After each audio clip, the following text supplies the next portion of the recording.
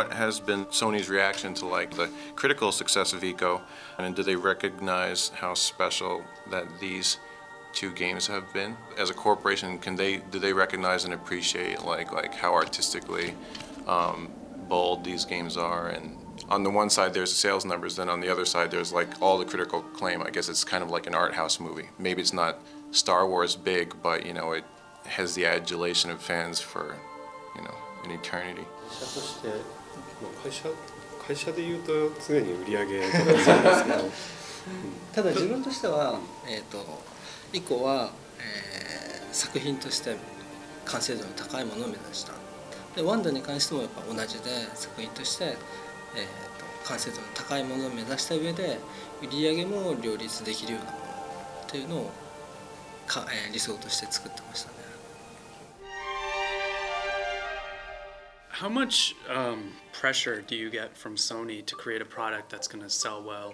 Um, do you have like complete creative freedom, or do, are there people like up at the top who say you need to have more action in the game, or you need to have like certain other elements? まああの多分クリエイターとしては多分ほとんど何もなくあの、まあ、何もなくというか多分、 こういうものを作れみたいないつまでに作れっていう、まあ、圧力はあのほとんどかからないように、まあ、なってると思います。ただプロデューサーには結構チクチクとあの来たりとかするでまあ一つだけ共通項があるとすればやっぱりその売れるもの、まあ、あるいは世の中にインパクトを与えるイノベーションを与えるものを、まあ、あの期待されてるま作れと言われるよりは期待してるからねっていうやんわりとしたプレッシャーですねそういうことはありますね。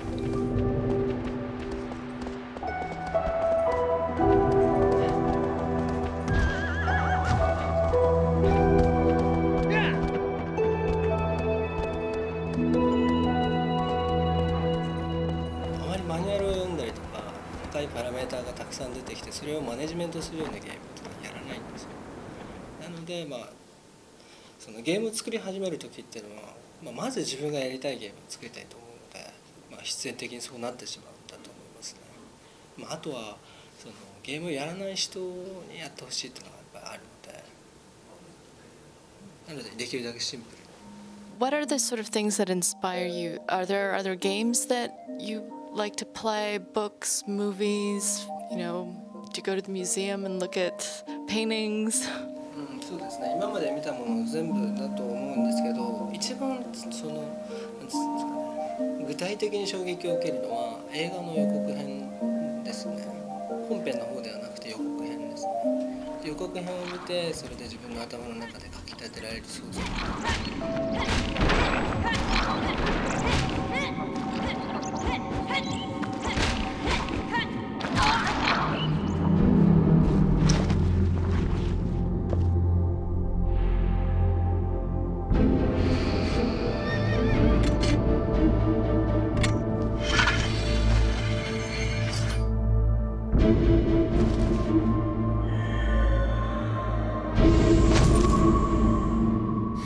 以降の、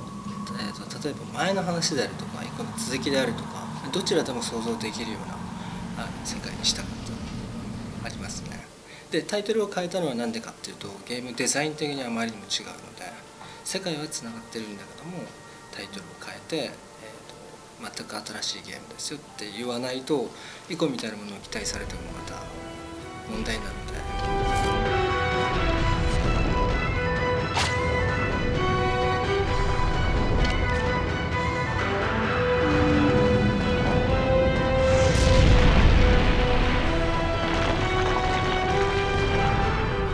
その部分で数をえーし絞ったというか1対1の戦いにしたわけではなくてそれが例えば複数体いた時にターゲットした状態で切り替える作業が複数体いると必要になってきますよねそれが自分的にはもう煩わしいっていうのがあって The sword that the main character holds is, is like the divining rod that, you know, depending on where the light shines brightest, that leads you to the Colossus. その剣でなんで剣で探しに行くかというとやっぱりその人がいない世界というかそのその世界のリアリティを上げるために僕の嫌いなものが2つあってそれは見えないコリジョン当たり判定。例えば何もないんだけども行けなくなってしまうような場所が他のゲームであったりするんですけどとあとは同じことを繰り返して喋るキャラクター。例えばお話を聞きに行った時に説明ヒントをくれるんだけども毎回同じヒントをくれるっていうのはそのキャラクター自身が生きてないように見えるんですよ。でそれを避けてなおかつ別の方法でヒントを与えることができないかと模索した結果その剣をかざしてっていうのを思いついたんですよね。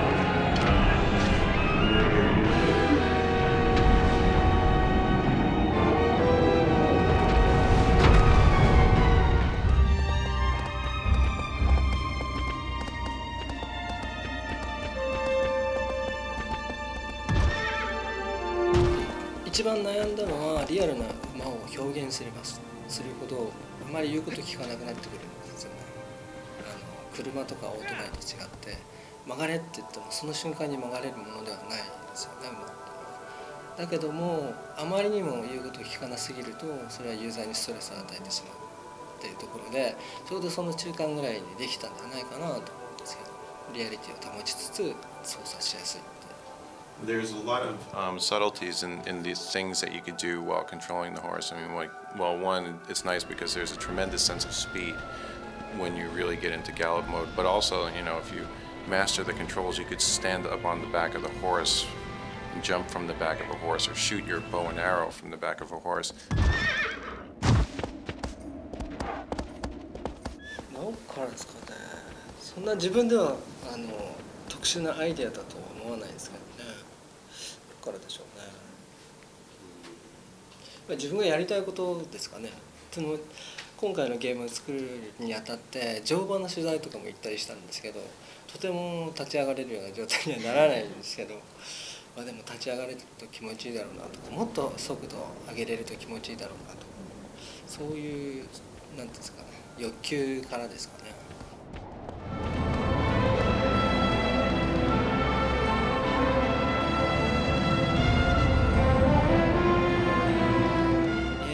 てるノンプレイヤーキャラクターと接触をして、えー、とゲームになるっていう構造は夜だ夜だっていうかイコと同じだと思うんですよ。ねなので、うんコンピューターにしかできない何かってなると僕はやっぱ AI じゃないかなと思うんですけどそれを使ったゲームを作っていきたいですね。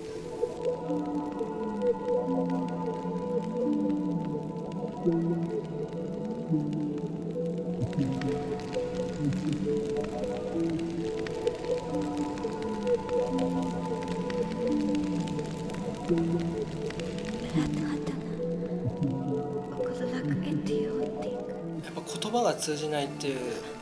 ものを表現するためにあえて字幕は読めないものにしたってところが一番大きいですね。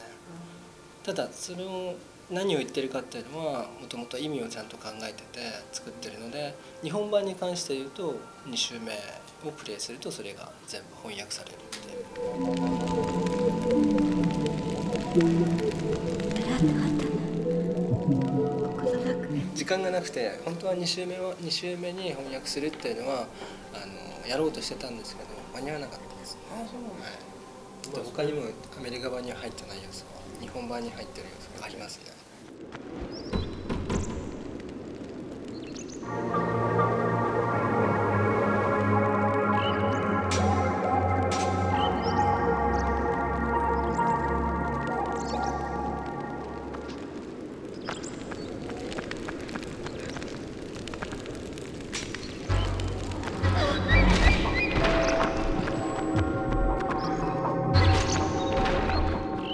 Japanese version of Eco, when you play through a second time, there's a special cutscene at the end where Eco and Yorda are eating watermelons on the beach.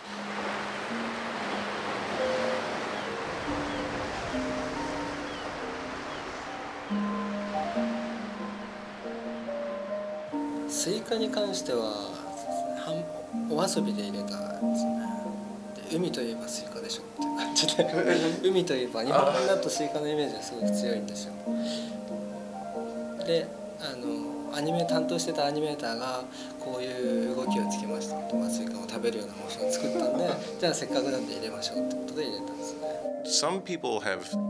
theorized that that's actually the afterlife, and I say that it's not. I think he just wakes up on the beach and Yorda made it out of the castle alive, which is the reality. 意味があるとすればあの以降の夢ですよね終わって、うんえー、と本当はあそこで終わりなんだけど船の中で寝てる以降が見てる夢、はい、ただでも本当の意味は本当に出会ってるんですからねあそこで。James, it'll be okay. So Eco doesn't die, but he dreams he sees Yorda when he wakes up. Nice. ふうに受け取ってもらってもいいってことですね。